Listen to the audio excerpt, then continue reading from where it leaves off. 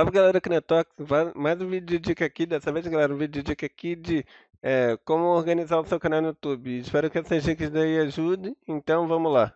Bem galera, para começar, estou aqui no Google, é, eu vou usar aqui galera, um canal de uma pessoa que decidiu me ajudar a gravar esse vídeo aqui, que é o canal da GamerChan64 ou a Paloma.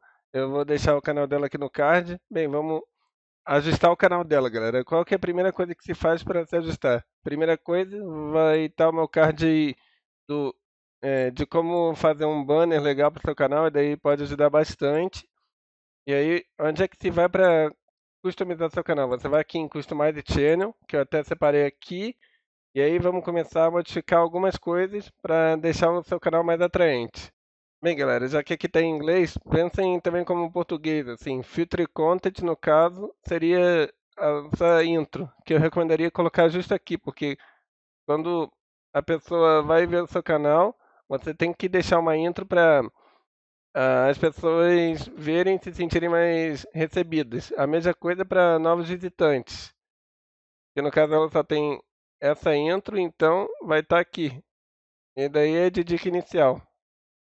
Bem, galera, a próxima coisa a adicionar são os canais sugeridos. Uh, eu tenho a permissão da Paloma aqui de colocar meu canal. Aí você coloca, no caso, para os seus canais mais parceiros. A mesma coisa quando for nas seções mais abaixo.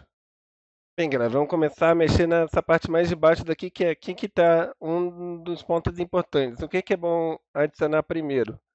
É quando você entrar em live. Que no caso é Live Now e aí, pronto. E aí, o que, que eu faço? Eu deixo bem aqui em cima. Quando você entra em live, ele, o YouTube já vai aparecer no seu canal, mostrando a live que você vai estar tá fazendo agora, seja de PC ou de PlayStation 4. Eu espero que essa dica daí ajude, galera, quando vocês estiverem organizando o canal de vocês. Bem, abaixo eu deixo os uploads mesmo, para a pessoa saber o que, que você está fazendo. E também é, assim, meio que quem quiser acompanhar e já ficar tudo certinho, Bem, galera, outra coisa que eu coloco aqui são os envios mais populares, que no caso, é, daí depende muito de canal para canal, é, de quais assim tem mais views, mas daí é bom para mostrar uh, no que seu canal é conhecido, principalmente quando você está mostrando para um outro amigo, e daí é bom para, pelo menos a pessoa ter uma ideia do seu portfólio, do que você é capaz de fazer no seu canal. Espero que essa dica daí ajude também. Bem, galera, agora vamos para a área de playlists. As playlists criadas, para o pessoal ter ideia, no caso ela só tem só uma, mas quando você vai tendo mais, vai uh, dando margem assim, para pessoas saberem que séries você tem feito e também quais séries você tem. E sempre quando você vai apertando em cada é, sessão nova que você vai criando, a pessoa vai vendo o que, que tem a mais. Espero que e daí ajude, galera. E também, claro, dei uma força no canal da Paloma, que ela está começando e recomendo bastante. Bem, galera, uma próxima sessão aqui que eu são as transmissões ao vivo passadas, são as que você fez. Deixa eu ver. Ah, eu acho que é essa daqui. É, é essa. Que aí a pessoa sempre quando vê já vai ter ideia, ó, é, já fez tantas lives que aí já dá para entender melhor é, o que, que a pessoa faz, assim, se a pessoa é focada em lives ou não, porque é, você dá uma ideia à pessoa é, que a pessoa gosta, por exemplo, de fazer live, essas coisas, mas daí vai muito de canal para canal. Espero que isso daí ajude também. Galera, uma outra dica também, não esqueçam sempre de fazer uma descrição também sempre para os vídeos de vocês, e daí tem uh, de é, como você padronizar cada envio. Aí o que eu recomendo assim, se você quiser ter uma descrição sempre bem feita, é criar um Word para uh, ah, você sempre copiar e mandar para o YouTube, que aí fica bem mais prático. Espero que essa outra dica daí ajude. E é isso aí. Também, galera, não esqueçam de investir um tempinho também, é, adicionar uma, uma descrição sobre o seu canal, para a pessoa ter uma ideia é, do que você é focado também, porque daí serve como uma apresentação também. E também é deixar um e-mail para contato, caso você queira, assim, é, é, é, se você for, por exemplo, CNPJ principalmente, daí vale bastante a pena. E é basicamente isso daí, galera. É questão de dica.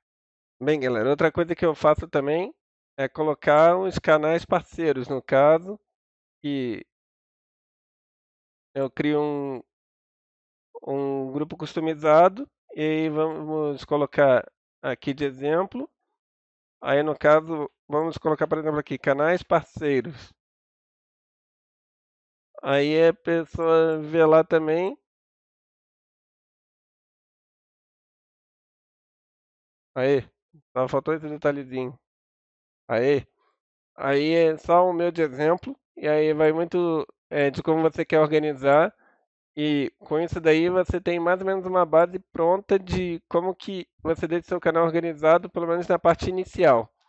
Eu espero que daí ajude também é, para assim, vocês que estão querendo organizar o canal de vocês. E o que eu já daria de dica também, galera, na área de playlists, já faça questão, galera, de deixar é, uma playlist certa para cada ah, série que você faz, essas coisas, para ficar mais certinho.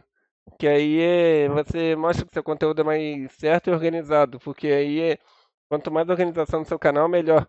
E é isso aí, galera. Isso aí, eu, eu espero ter ajudado é, vocês e também o canal da Paloma. Espero que é, gostem. Vou deixar o card dela aí para vocês darem uma força. E é isso aí, vou me despedindo por aqui. É, não esqueça de deixar aquele like lá e compartilhar para dar aquela força que você for inscrito. E é isso aí, nos vemos então no próximo vídeo. Falou!